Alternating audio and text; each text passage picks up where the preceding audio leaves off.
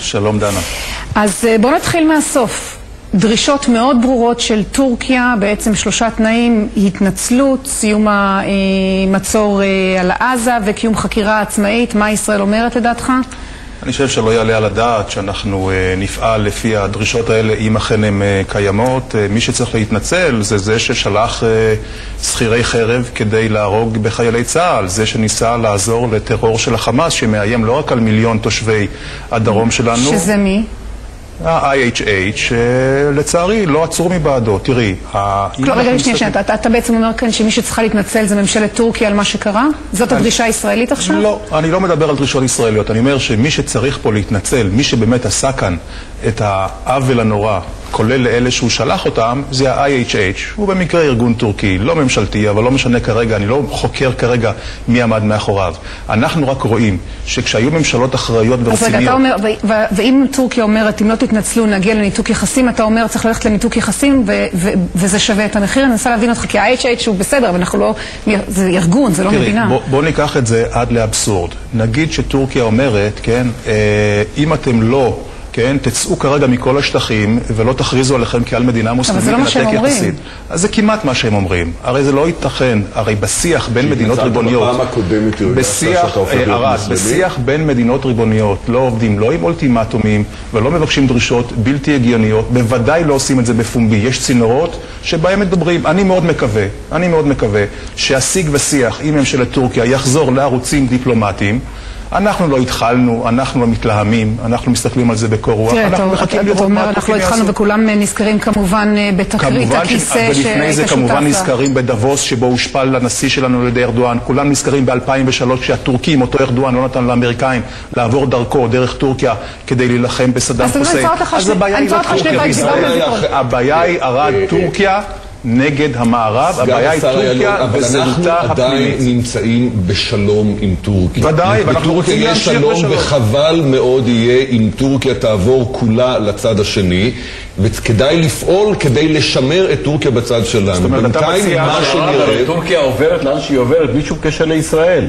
טורקיה הולכת להיות מדינה, רוצה להיות מדינה מוסלמית שהיא בעצם הופכת להיות מנהיגה של העולם הזה, בלי שום קשר לישראל. מרכז אסטרטגי אזורי. טורקיה רוצה להיות מעצמה אזורית. טורקיה רצתה ורוצה עדיין לקחת את ישראל עימה בדרך הזאת, והיה תהליך מול הסורים שהלך יפה מאוד עד המלחמה בעזה. אחרי המלחמה בעזה, ארדואן, שגם הוא לא צדיק, התחרפן במילים יפות שלנו, ויצא נגד שמעון פרס ואמר מילים קשות כן. מאוד נגד מדינת ישראל. אבל האם במדינת ישראל, מאז שאתה בממשלה, מישהו ניסה לשקם את היחסים עם ארדואן? על בסיס יומיומי. יש לנו שגרירויות, יש לנו אה, אה, שגרירים טורקים. אבל אין דיאלוג, אין דיבור. אני ביקשתי שיכינו תמונות של העולם הערבי היום. בעולם הערבי מנופפים את דגלי טורקיה. לא, אז אנחנו מסייעים לו להצליח בדרך שלו. תקשיב רגע, היה שם שר הביטחון שלנו, היה כאן אחד הדוברים הקודמים, שר התמ"ת. פואד בן אליעזר. כן, אבל היו גם הצהרות שלך, אני חייבת להראות לך דברים, שהיית פה באולפן בפעם הקודמת, ודיברנו אז על הפרובוקציה, אז דיבר, כל הפרובוקציה עם השגריר והכיסא הנמוך הייתה סביב סדרת טלוויזיה. לא רק סדרת טלוויזיה, זה היה אחרי רצף. בוא נראה דברים שאמרת אז, ואני רוצה לשאול אתכם, אתה עומד עליהם גם היום, בוא נראה. אם תהיה פגיעה בישראל על ידי כל מדינה שהיא, אנחנו נשקול את כל הדברים, כולל גירוש שגרירים, זה הדבר שאני אומר. אז דיברנו על סדרה, עכשיו ראינו משט וראינו את ארדואן שמשווה בין ההרוגים האלה לבין הרוגי ה-11 בספטמבר, אז למה השגריר הטורקי עדיין כאן? השגריר הטורקי עדיין כאן מכיוון שאנחנו לא יוזמים לא ניתוק יחסים ולא דרדור ביחסים. גם השגריר הטורקי באנקרה, קראו לו הטורקים, לא אנחנו שלחנו אותו, אבל מה שכן, במשרד החוץ, הדרג המקצועי במשרד שלך, כל יום מתעורר מחדש ומתפלא שהשגריר שלנו עדיין באנקרה, שלא גירשו אותו. אז איך אתה מבין את המסר הזה של הטורקים? תראה, אתה שואל אותי עכשיו כהערכה. להערכתי, הטורקים, זה לא אינטרס שלהם לנתק יחסים עם ישראל. להערכתי, הם מותחים את החוט כמעט עד הסוף, אבל מבלי לנתק אותו, מכיוון שאם הם ינתקו אותו, אז באופן ברור הם למעשה מתנתקים מהמערב ועוברים לצד של האסלאמיסטים הקיצוניים, אבל יכול להיות שאנחנו שיחקנו לידיהם, ומה שקרה היום, השבוע בספינה, זה רק דוגמה. המדיניות הזאת, שאנחנו לא נראה את הלחי השנייה, ואנחנו נשמור על הכבוד הלאומי, ופשוט שיחקנו לידיהם, ומתקרית השגריר על הכיסא הנמוך ועד ההשתלטות על האונייה השבוע, זה פשוט לתת להם את מה שהם מבקשים. בשם לא. השמירה על הכבוד הלאומי והאינטרסים. ממש לא. תראי, קודם כל, אה, אנקדוטות, באמת, כמה שהן לא יהיו אה, חשובות והן אה, מושכות את העין, זה לא רציני, זה דבר שבכלל... מה זה אנקדוטה? אנקדוטות, למשל, הסיפור של הכיסא. ממש לא רציני. הייתי אומר כמעט ילדותי לחזור עליו. הטורקים לא מדברים אבל זה, לא חוזרים עליו. אנחנו, שמתי לב שרק אצלנו אוהבים לדבר על זה. הטורקים לא מדברים על זה כבר. הדברים הם הרבה יותר מהותיים, הרבה יותר רציניים, דנה, והשאלה כאן, הזהות הטורקית, לאן, לאן הם הולכים? וזו השאלה החשובה, לאן הם הולכים, זה מה ששואלים, לא רק בירושלים, לא רק אנחנו שואלים את זה, שואלים את זה בפריז, שואלים את זה בוושינגטון, שואלים את זה בברלין וב... שם גם שואלים יותר בקול רם לאן מדינת ישראל. אני מבקש להציע, למען ההגינות, סיפור של 30 שניות. ב-2001 ליוויתי את ראש הממשלה אריאל שרון לביקור אה, רשמי באנקרה. ועיתונאי טורקי שאל אותו על מה ישראל עושה בחרם א-שריף. ושרון ככה הסתכל עליו ואמר לו, אה, אתה מתכוון להר הבית, למקום המקודש ביותר ליהודים?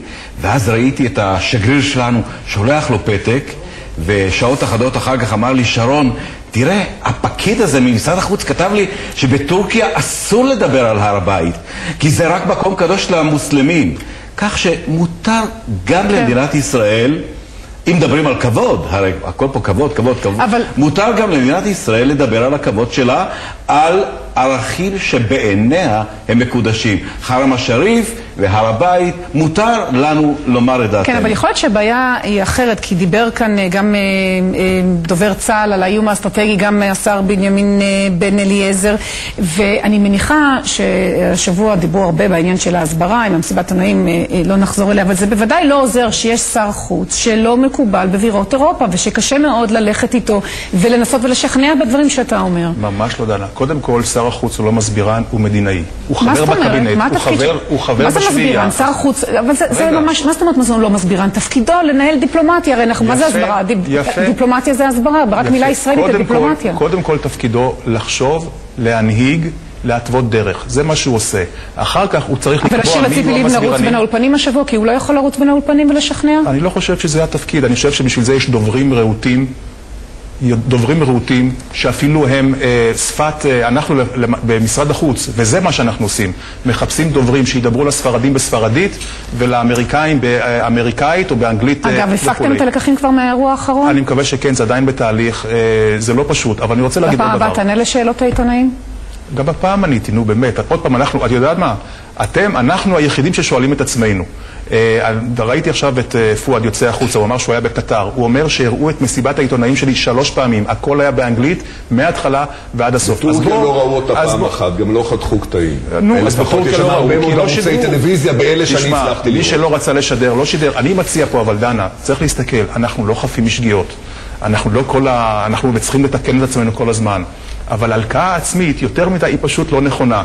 גם בנושא של מסיבת העיתונאים, היו שם עיתונאים זרים, קיבלו את הכל, AP ורויטרס, אחר כך עשינו אה, מסיבות עיתונאים. אתה מסכים איתי שמצבה של ישראל בזירה הבינלאומית לא היה גרוע יותר? אני לא יודע אם לא היה גרוע יותר, אנחנו מסתכלים אחורה, היו תקופות מאוד מאוד קשות. ב-75, 1975, ציונות גזענות, עם אבא אבן, אחד המסבירים הטובים ביותר. תראה את השער של הקונומיסט, תראה איפה ארצות הברית עומדת, תראה איפה עומדים ידידים, זה לא דבר אה, שהוא לגמרי פשוט. אז, אז בואי נגיד לך, אני רוצה להגיד לך שהפעם, ואני אומר את זה בצער, כן?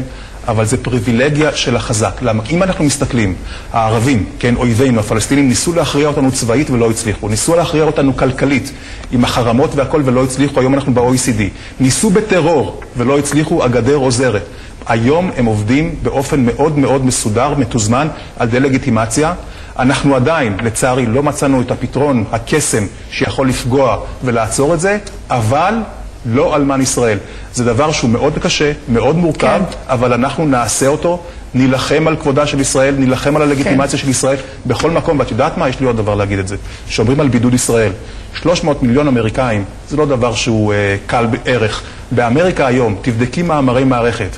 בהרלד, במיאמי הרלד. או בשיקגו טריבון. ועל כל מאמר מערכת כזה יש מאמר אחרת. לא חשוב, אבל אני אומר, כן. תבדקי באופן טוב. כללי, בארצות הברית מצבנו מצוין. אנחנו צריכים רק להעתיק את זה למקומות נוספים, לא נרים ידיים ונמשיך לעשות את זה בכל מקום. טוב, אז אני שמחה שאתה מספר לנו שמצבנו מצוין. גם בתקשורת, גם בתוויטר. כן, יש גם מאמרים אחרים, אבל אם אתה אומר שמצבנו מצוין, אז לא, אל תשימי מילים בפה שלי, אני לא אומר מצוין, אני אומר שהוא לא אבוד, הוא מצב קשה, אבל יש לנו תשובות. נראה לי שהרבה אנשים ייקחו את זה בשבוע הזה כמצב לא אבוד. יש לנו תשובות ונמשיך לשכלל אותם, זה מה שחשוב. סגן שר דן אילון, תודה רבה לך. רב ניר, תודה רבה גם לך. שמעון שפרותן נשאר איתי. נעשה הפסקה.